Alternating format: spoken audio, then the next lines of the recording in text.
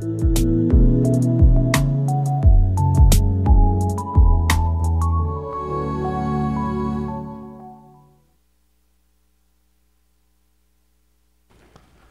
evening, everyone. I am uh, James. I'm, I have the privilege of pastoring here at Redemption Heights and, uh, and the extra special privilege of teaching tonight uh, to you all. If this is your first time here, I am so excited that you could join us for worship. Uh, this is always the highlight of my week, and not just because it's my job to be here, but because I genuinely love gathering with the body of Christ uh, to worship our good, good Savior.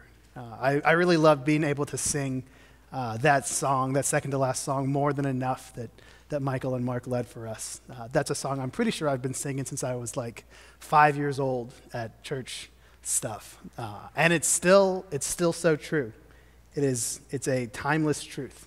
Uh, that's the beauty of some of the commands of God. One of the verses that Kathleen read talked about how we should sing to each other with psalms, hymns, and spiritual songs. And and it's so beautiful when we get to follow the commands of God and see so quickly how they're good for us, right? How, like, when we do what God says, that actually ends up being exactly what we need. Uh, you know, in this small example of songs that remind us of His goodness, but in everything in life, when we follow His commands, it ends up leading us exactly where we need to go. Now, that has nothing to do with my sermon tonight, but if you give a pastor a microphone, he's going to talk about whatever. So. Uh, tonight, we're going to be in Matthew 14, verses 13 to 21. We are in a series about uh, called Who is Jesus, where we're looking, going through these, this section of Matthew, looking at who the identity of Christ is through his interactions with the different people, the different miracles he performs. Like last week, we talked about who is Jesus, and Pastor Mark preached a sermon on the execution of John the Baptist and how Herod, the, the ruler at that time, thought that Jesus was this resurrected prophet who was coming to ruin his good time. Um, but this week, we'll be talking about who Jesus is as a satisfying Savior. We'll talk, him, talk about who he is as the Savior who satisfies. And we'll be looking at one of the more famous miracles uh, in the Bible. In fact, it's the only miracle that is mentioned in all four of the Gospels. You know, there are a lot of stories that overlap, but this particular one is in all four Matthew, Mark, Luke, and John. And as we begin to, to look at this, I had a question for you, something for you to consider. And that is what is the best meal that you have ever had? What's the best meal that you've ever had? When I think back through my memory of all the best meals I've ever had, uh, thankfully, none of them have been on my own dime. Right? None of them have been meals that I have paid for. If you asked me to pick a restaurant, I'd say, let's go to Taco Bell, if that shows you my culinary palate. Uh, but, but, but many of the best meals I've had were when I was in college. You see, I had a best friend, I have a best friend from college who is a foodie. He loves fine dining. He makes all these delicious meals himself, and he would go to all these nice restaurants. And he didn't like to eat alone, and so when he would go to a nice restaurant, and, he, and if he didn't have a special lady to take with him to that restaurant, I would get tagged in, and he would treat me. Uh, or when his parents were in town and they took him out to eat, they'd bring me along. And so I got to eat all of these delicious meals at all of these nice restaurants because of my friend. And this one time we went to this place called Opus 9. If you've ever been to Williamsburg, Virginia, you may have heard of Opus 9. It's like the nicest steakhouse in this uh, touristy area. So it's, it's good food. And it was way too pricey for me normally, but my friend's parents were treated. And so I had this delicious steak. It was cooked, it was cooked rare, you know, as a steak should be. And it was delicious, covered with this like thick cream sauce and crab like, like crab meat just sprinkled on top. And it was like hands down the best meal I've ever had. I still think about it sometimes. It was delicious. His parents dropped some serious change on that meal for all of us to have this steak, and it was so good. But the next morning, I, I woke up and I was hungry again.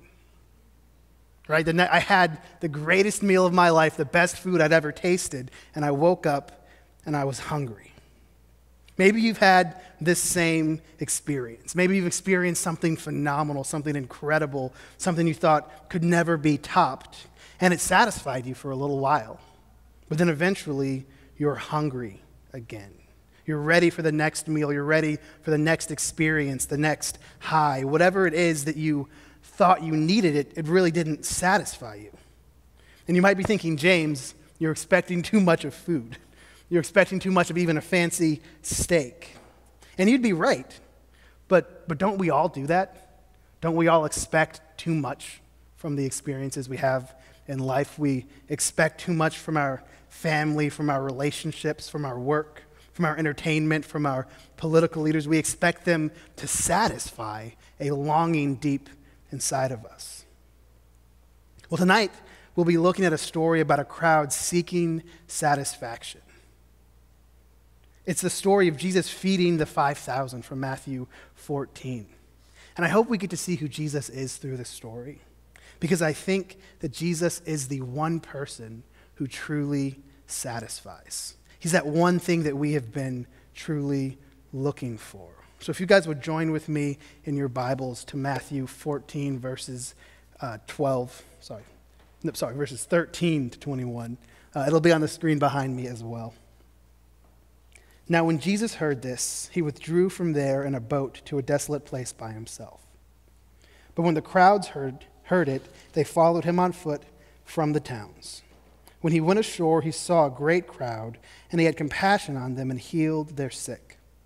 Now, when it was evening, the disciples came to him and said, This is a desolate place, and the day is now over. Send the crowds away to go into the villages to buy food for themselves.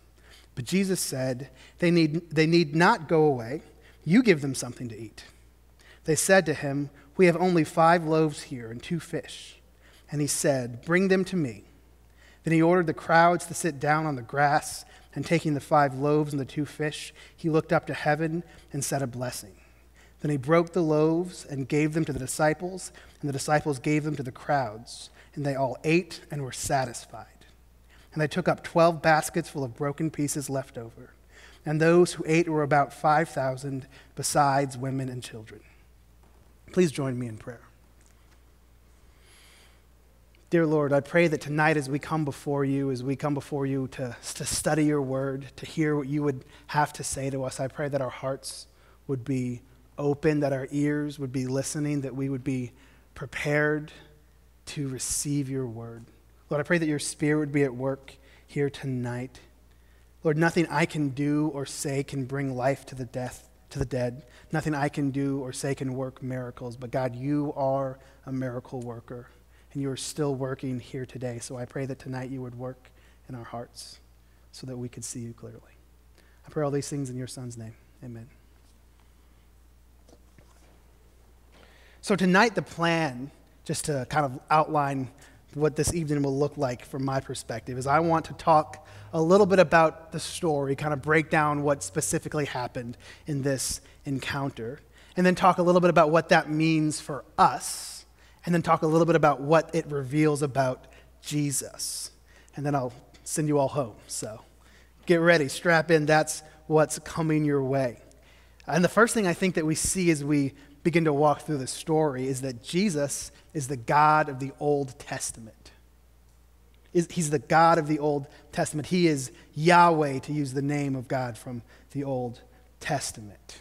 And then when I say that, I want to be clear. I'm, I'm saying that not only is he divine, but he is specifically the God of Israel. Right? I think often we kind of conceive of Jesus as coming into existence with no prior history or patterns of behavior or established character or anything like that. But, but the truth of Scripture is that Jesus is the same God in the New Testament that he was in the Old. His actions fit into a pattern of behavior. He has a unique and special history with the people of Israel. He has a pattern of mercy and justice, of faithfulness to his people, of a heart for the nations. The Jesus we see in the New Testament isn't a departure from God's character, it's a continuation of who he has always been. And that's why we can't just, as, as one pastor put it, unhitch from the Old Testament. Right? As, as believers today, we can't stop reading the Old Testament, even if it might seem culturally different or distant. We still need to read it because it is the same story of the same God who made five loaves feed 5,000. That is Jesus. He's the God of the Old Testament. And if we want to know who Jesus is, we need to see what he's revealed in all of Scripture. And I think this miracle particularly shows us that Jesus is the same God as that of the Old Testament. We see the same character. You know, for one, we see that he sees with compassion. We see that he's followed by needy people. And we see that he provides for his followers. In verses 13 to 14, we see clearly that Jesus sees with compassion. Verses 13 and 14 say this Now, when Jesus heard this, he withdrew from there on a boat to a desolate place by himself. But when the crowds heard it, they followed him on foot from the towns. When he went ashore, he saw a great crowd, and he had compassion on them, and he healed their sick. See, after hearing of the death of John the Baptist, like we talked about last Sunday, Jesus withdrew to a desolate place. He was trying to get some alone time. But when the crowds heard that where, that's where he was going, they followed him on foot from their towns so that they could see Jesus. And now, if, if this was me, if I had just had a hard day or if I was trying to get some alone time, I love, I love alone time. It's wonderful. If I was trying to get some alone time and the crowds came to me, I think I would be irritated, right? Like, how many of us at the end of a long day, especially if we have children, at the end of a long day, have thought, man, I just wish that you didn't come to me with your problems? I don't want that text message about an emergency. I don't want that phone call. I don't want that reminder that I need to vote in a couple of weeks. Like, we get it, it's happening. Just leave me alone. But that's not how Jesus was. He saw the crowd and he was moved by compassion to show them mercy. And that's what we see about God throughout the Bible. Right? In Exodus chapter 2, in the very beginning of the book of Exodus, there's this description of the suffering of the Israelites in their captivity in Egypt. And verses 24 to 25 say this And God heard their groaning, and God remembered his covenant with Abraham, with Isaac, and with Jacob. God saw the people of Israel, and God knew. And that introduction, that description precedes all of the miracles he worked in rescuing his people from captivity to Egypt and delivering them to the promised land.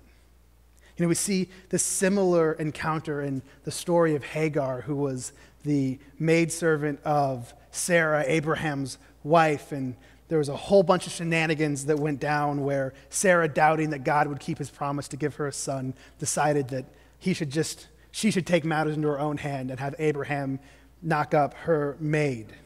And then she wasn't happy with it after it happened.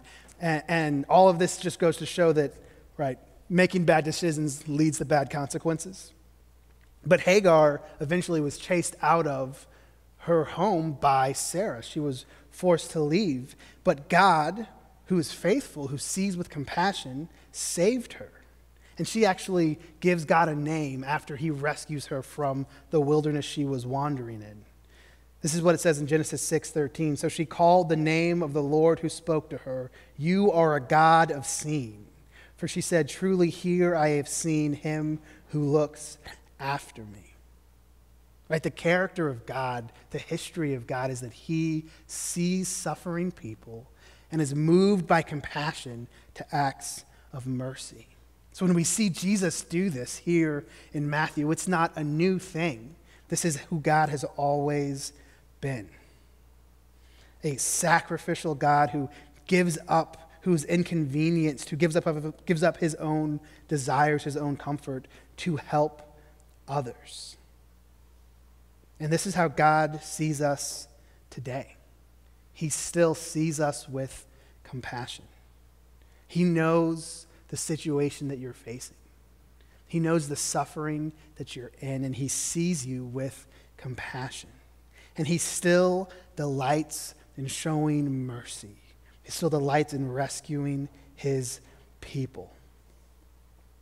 And to speak of the people of God, we also see in this story that Jesus is followed by needy people. We see this especially in verses 15 to 17.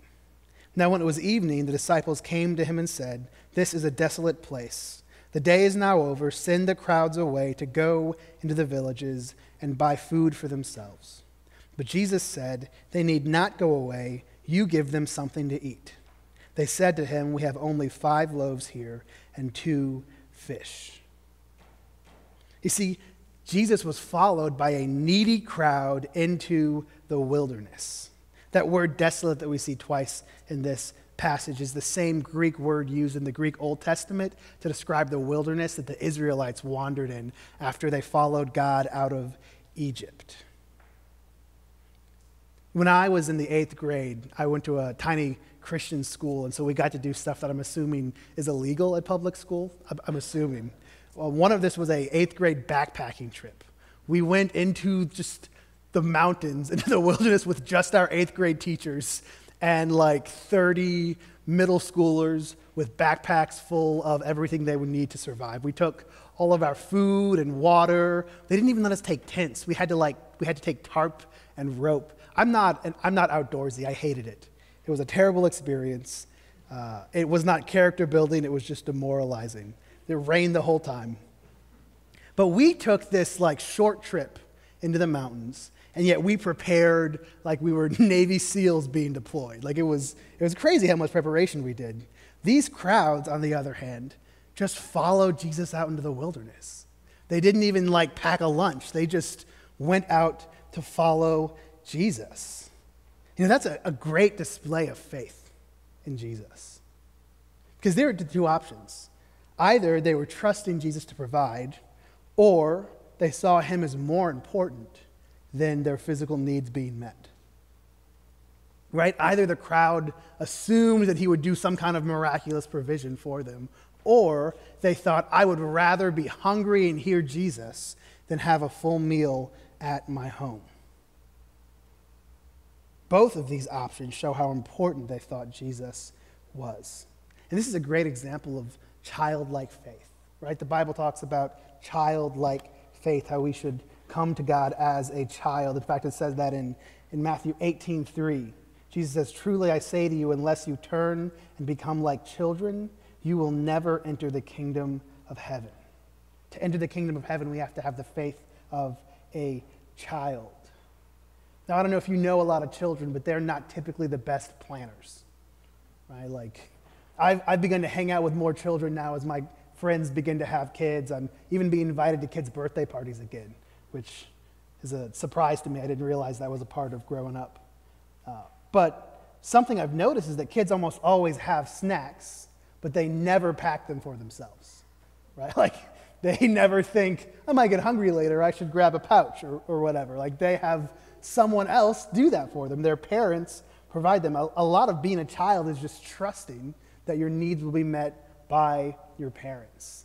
Like, I don't know about you, but I can't remember the last time I left my house without my wallet and didn't have a little bit of like a, oh no, what if I need to buy something? But kids leave the house without their wallets all the time. They just trust that wherever they go, they will be provided for.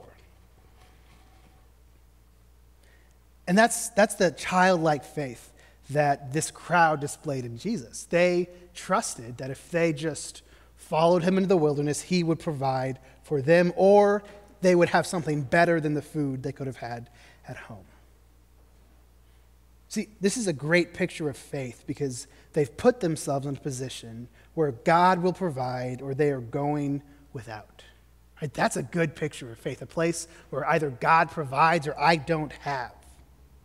And, and listen, I'm not saying that you should call poor planning trust in God's providence, right? You shouldn't be like, I'm not going to pay these bills, but God's still going to provide. That's, that's not what I'm saying. What I'm saying is that faith is living out of the confidence that if God calls you somewhere, He will provide what you need when you get there. Right, this is what we saw with the example of Abraham in the Old Testament that God called him out of his home, out of Ur, to a promised place where he would become a nation. And he went and obeyed God just on the promise of God's word. He had faith that if God said he would do it, he would do it. So he went to where only God could provide.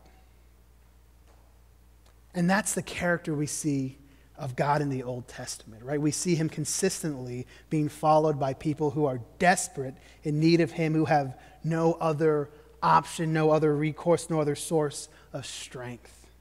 Right? Jesus wasn't followed into the wilderness by the best or the brightest, by the most powerful or wealthy, by those who had everything going right for them. It's the needy who followed Jesus, the weak, the humble. And that same is true today of the people of God. So Jesus was followed by needy people. We also see that Jesus provides for his followers. Here's the part where we get to the, the exciting part, the miracle. This, let's look at verses 18 to 21. And he said to them, and he said, Bring them here to me. Then he ordered the crowds to sit down on the grass, and taking five loaves and the two fish, he looked up to heaven and said a blessing. Then he broke the loaves, and he gave them to the disciples. And the disciples gave them to the crowds, and they all ate and were satisfied. And they took up twelve baskets full of broken pieces left over. And those who ate were about 5,000 men, besides women and children. So here we see Jesus provide for the crowds, provide for those needy people who followed him. He provides for 5,000 people with five loaves and two fish, or sorry, five fish, no, five loaves and two fish. I got it right the first time. I don't know exactly how many fish make a meal. I'm not a big pescatarian, but that's not enough for 5,000 people. And it was more than 5,000, right? It was 5,000 plus the women and children. It was 5,000 men and women and children. It was a massive crowd. And yet Jesus miraculously feeds all of them to the point that they were satisfied. And if you are a student of the Old Testament, here your, your ears might perk up. You might notice that this is similar to some other stories. You know, the one that jumps out first to me is the story of God providing the manna in the wilderness for the people of Israel. When the Israelites followed God into the wilderness, they didn't bring enough food for the whole trip. Right? They packed some food, but they quickly ate all of their supplies. And so they, like they tended to, began to grumble. They began to complain because they didn't have food. But God miraculously delivered bread for them. He would make bread appear from heaven every morning and quail appear at the evenings for them to hunt and eat. God cared for his people. He provided for them miraculously when they followed him to a place where they had no other option. You see, this miracle shows that Jesus is the God who provides for his people. It's a display of his incredible power. Only God can feed 5,000 with five loaves. That's something that only Jesus can do. He can create something from nothing. This shows that he is God. It is only God who can do this.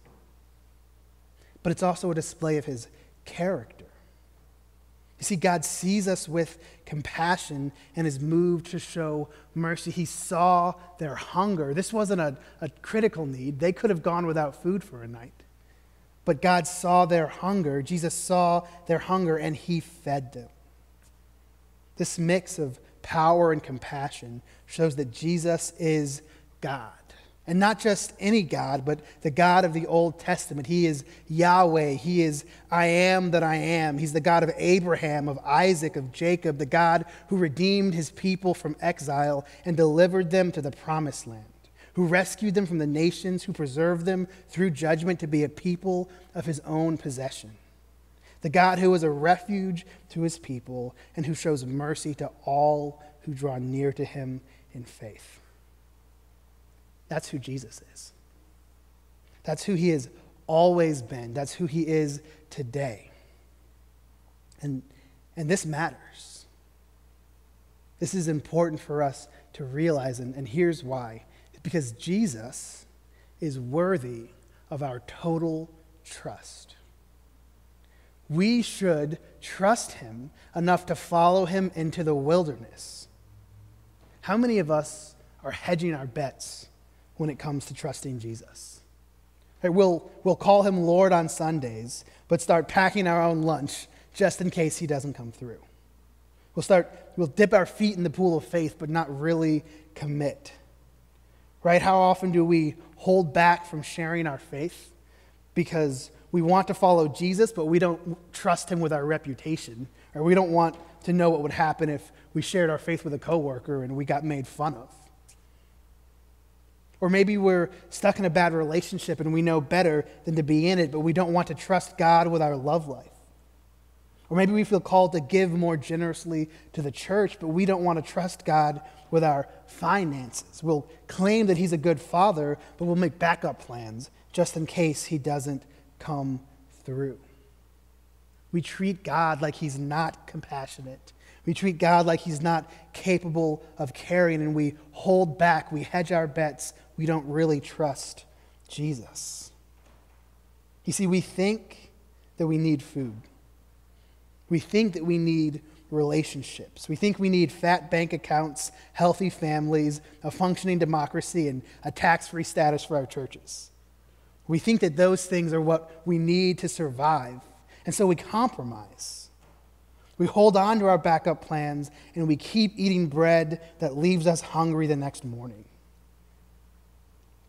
This never gives life. Do you guys like chewing gum?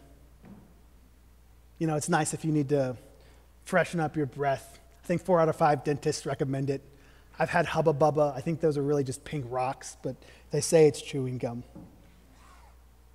Well, the, the problem with chewing gum is that if you're hungry and you put in a stick of gum, you'll chew it for a little while. Like it'll, it'll start, you, you'll start to think that you're eating, but you'll never be full. It will never actually satisfy. And this is the situation that we often find ourselves in with these things we think will satisfy, these things we place our trust in that aren't Jesus. Jesus is worthy of foolish, childlike faith. He sees us with compassion so we can trust him to care for us. He's capable of miracles so we can trust him to act on our behalf. We can follow him into the wilderness because he will provide for all our needs. So, where is Jesus calling you to go? Follow him. What is he calling you to do? Obey him. You should trust him because Jesus is the only thing that satisfies. He's the only thing that truly satisfies. You see, what this text points to about Jesus is that Jesus is the only thing that truly satisfies. We sinners all are seeking life and satisfaction in dead things. There's this illustration of, of what sin is in the book of Jeremiah that I think just really, really captures how futile, how useless it is. It's Jeremiah 2 13. This is God speaking to his people. He says, For my people have committed two evils. They have forsaken me, the fountain of living water, and hewed out cisterns for themselves, broken cisterns that can hold no water. See, a cistern is a, is a reservoir. It's like a container in, that you set into the ground that captures water.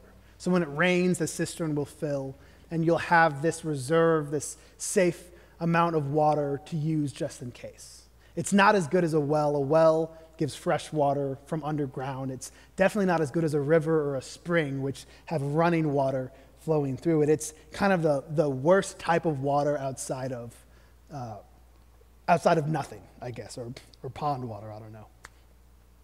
But if a cistern is broken, then no matter how much water you pour into it, it will always just drain out the bottom right? If a cistern is broken, it can hold no water. And so, this picture of sin here from this verse in Jeremiah is that the people of God forsook, they turned away from the God who provides life, the fountain of living water, and instead they made cisterns that were broken and could hold no water. And that's what we do with our sin. When we sin, we turn away from the God who gives life and instead seek life in these lesser things that could never provide it. When we think that wealth or relationships or fame or entertainment or the American dream will satisfy our souls, we're trying to drink from broken cisterns. You see, no matter how much stuff you have, no matter how many people think you're neat, we'll always crave more. At the pinnacle of human success, we often realize that it's not enough. Back in 2005, after Tom Brady won his third Super Bowl, he, he gave an interview on 60 Minutes. And he was asked about how he felt about having won this third Super Bowl as a, as a 27 year old. He gave this response. He says, Why do I have three Super Bowl rings and still think there's something greater out there for me? I mean, maybe a lot of people would say, Hey man, this is what it is. I reached my goals, my dream, my life. Me, I think, God, it's got to be more than this. I mean, this can't be what it's all cracked up to be. I mean, I've done it. I'm 27, and what else is there for me? Right, whether or not you're fans of the Patriots, which I'm not, uh, Tom Brady is, is impressive, right? He's one of the greatest quarterbacks of all time, and at 27, he had done three times what so many people dream of doing once and never do. And yet, it wasn't enough. It didn't satisfy. And if three Super Bowl rings weren't enough for him, my guess is that six haven't satisfied him either. You see, we never find life outside of Jesus. The pinnacles of human success turn out to be meaningless if you don't have Christ. That's the situation we find ourselves in when we choose these things that are less than God and try and make them God. They do not satisfy, and we're left wanting. We are so prone to seek sinful satisfaction in the things of the world, and we're left wanting. But God had mercy. You see, God seeing our suffering, seeing us chase after these broken cisterns that can't give life, He sent His Son to be our provision. He sent Jesus to be the bread of life. When this same story is taught in the Gospel of John, there's this discourse that happens between Jesus and, and the crowd on the next day. See, the crowd tracks Jesus down because they want more bread, they want another miracle. And he tells them that they should instead work for the food that does not perish, but that endures to eternal life. And so they bring up the story of the manna from heaven that I talked about earlier. They bring up the, the bread from heaven that they received. And Jesus says this in John 6, verses 32 to 35. Jesus then said to them, Truly, truly, I say to you, it was not Moses who gave you the bread from heaven, but my Father gives the true bread from heaven. For the bread of God is he who comes down from heaven and gives life to the world. They said to him, Sir, give us this bread always. Jesus said to them, I am the bread of life. Whoever comes to me shall not hunger, whoever believes in me shall never thirst. Jesus is the bread of life that satisfies your soul. If you come to him and you find life in him, you will be satisfied. See, Jesus bore the wrath for our sin so that we could be reconciled to God through faith. These, these things we're looking, these things that we look to for life, wealth, family, fame, all of these, these lesser things that may be good but aren't God, when we look to them, what we're truly looking for is that relationship with God, is reconciliation with Him. Reconciliation means being reconnected to the God who satisfies our deepest longing. And we live in a world full of wonderful blessings that point to God, but none of them can replace God. You see, only through the reconciliation that comes from faith in Jesus can we be satisfied and find real rest. And so, Jesus, so God sent Jesus to earth to be born as a human, to take upon himself our sins, our shortcomings, our failures, so that we could be restored to relationship with God, that if we place our faith in him, we can be reconciled to him and find true satisfaction. This is the only hope to be satisfied in life. Because when we place the weight of godhood on lesser things, when we try and make a marriage or a family or a career God, it warps, it breaks, it becomes twisted. How many marriages have ended because someone thought their spouse was supposed to be their savior? How many parents have chased off their children because they forced them to carry all their hopes and all their dreams? How many careers have become slavery because someone thought they could provide real satisfaction? The only thing that will satisfy is knowing Jesus. And this is what's symbolized in communion. You know, one of the really cool things about this passage is that it subtly points forward to communion, to the Lord's Supper instituted later in this gospel. The same verbs are used throughout this story that are used in the institution of the Lord's Supper. Jesus taking the bread, blessing it, breaking it, giving it to his followers. See, what's being pointed to, what's being revealed is that while bread will satisfy for a while, Jesus satisfies forever. We don't just need bread, we need the bread from heaven. We need the bread of life, Jesus, to come into our lives and satisfy our longing. Jesus is what satisfies. And in communion, we are reminded of the price he paid so that we could have life. So, what should you do with this information? How do you respond? First, I would say turn from broken cisterns.